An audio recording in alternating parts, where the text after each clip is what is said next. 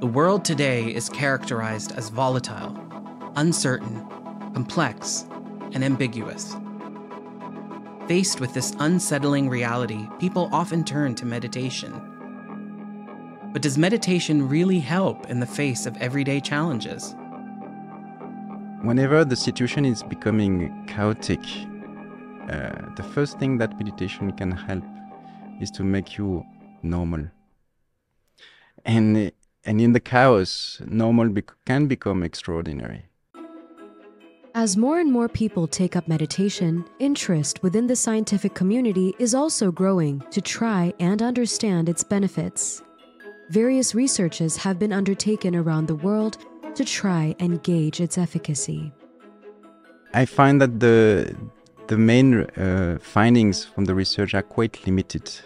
Uh, the researches which are the most revealing on what are the main changes which are happening when you practice regularly meditation. It helps uh, three things self awareness, uh, awareness of what yourself, attention control, and emotional regulations. So these are the main three main claims which are supported by strong evidences uh, from researches. So we can go peacefully with that. For all the others, the impact of meditation may not be that relevant or so significant, or you may not see uh, that it has a stronger effect than uh, swimming or, or playing piano or others. While positive results in the three areas of self awareness, attention control, and emotional regulation may not seem like much, they can have a far reaching impact on people's lives. Self awareness. Some people are just stunned to see that they are totally disconnected from their body. So, just the fact that you close your eyes and scan your body, they have never done it you know they are so focused in what they are doing today that just at one moment to do that it's a life experience for them life changing experience and that is true then when you go into the body when you go into feeling naturally you switch off the monkey mind so then they realize wow and there is less noise okay so these just these things they are really in terms uh, psychologically they are really revealing. Our brains are buzzing with electrical impulses. An EEG can measure this in terms of brain waves. The more the activity in the brain, the higher the frequency of the waves.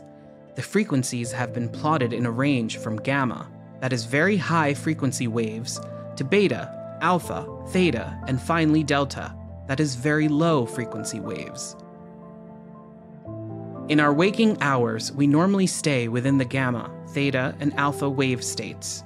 During sleep and meditation, we can approach theta and delta states as brain activity slows down. This begs the question Is meditation just like sleep?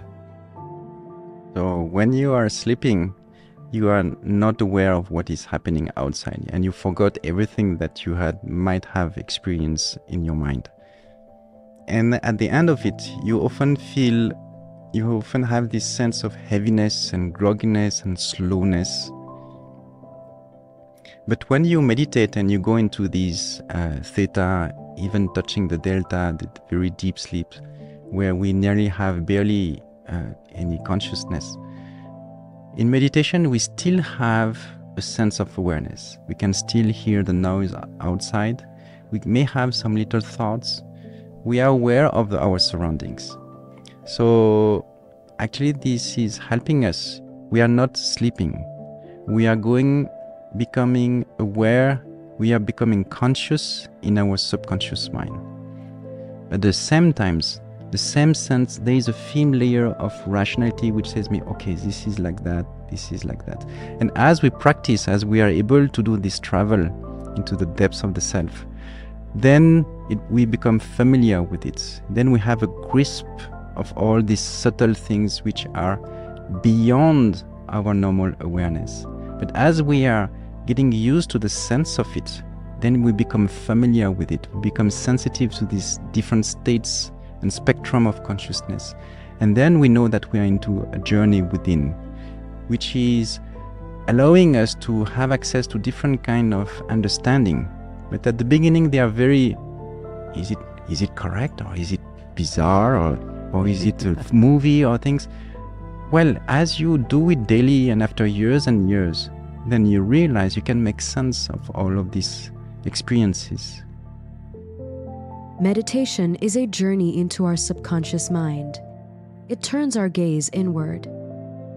But isn't there a danger that as we become more and more inward looking, we start to become unaware of the outer world?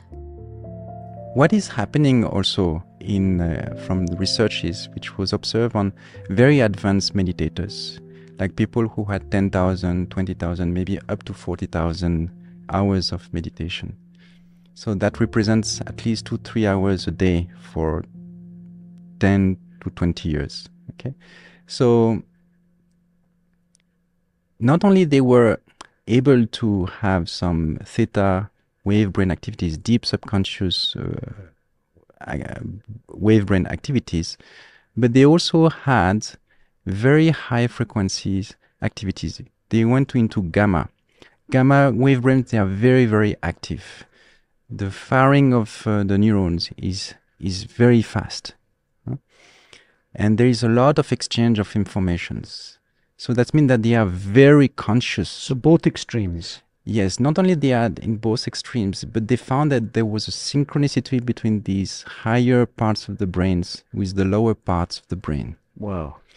So maybe we can say this is super consciousness or not, or it is the ability to capture this deep wisdom or deep connection with the self and to understand it or to manifest it at the conscious level.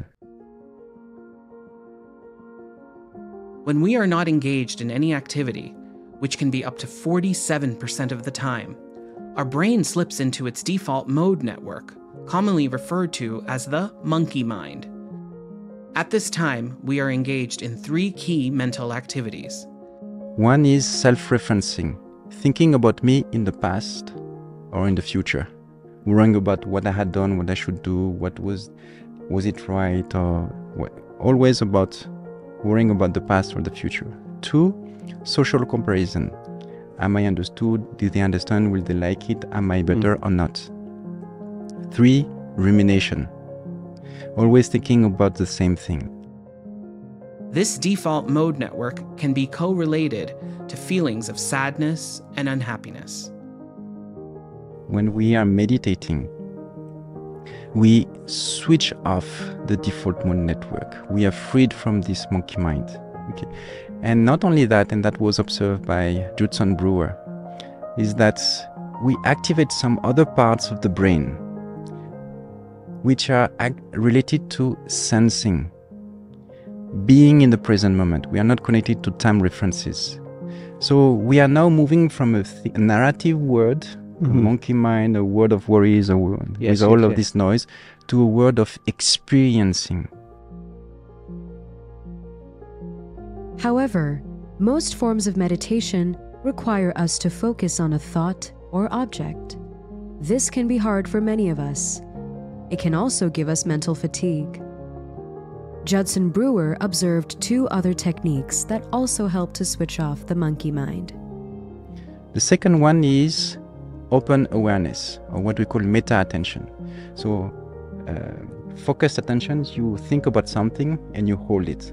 Okay. Meta attention is that you focus on that, and then your mind starts wandering kitchen, this and that, worries, housewife, office, and, and you take some perspective and you see, okay, my mind is wandering. Okay, so now bring it back gently, softly, to the object of meditation. And then it will come back like this and you bring it back. This is meta attention. Or another image is that you're lying on the grass and you watch the sky and see the clouds passing. And you just observe everything. The clouds are your thoughts. Okay, you're not the thoughts, but the clouds are passing and they are going. So you just relax and just observe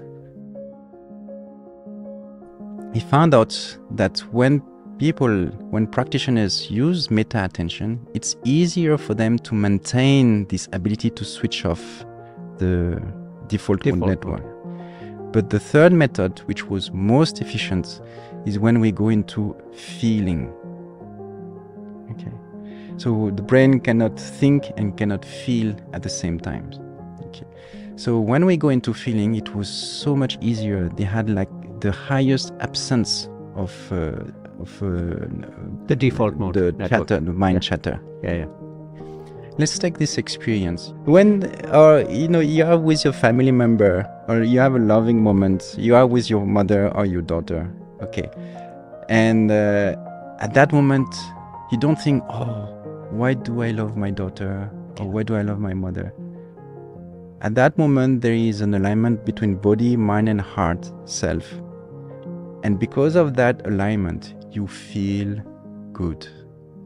So if you have this uh, good moment in memory and you close your eyes and you start thinking about it and you you see the scene then naturally you will start you know even smiling and you will feel it and and you will see this happening through you okay so this is one thought an idea you come into an experience.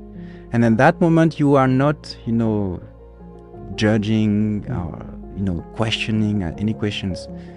You are just into the moment of, of the feeling. And this is what we do in heartfulness meditation. We bring our focus attention at the beginning with a subtle suggestion on the source of light in the heart. And then we try to feel it as an experience inside us Mhm. below our meta attention, non judgmental observation. So these three mental processes are naturally trained when we practice heartfulness meditation.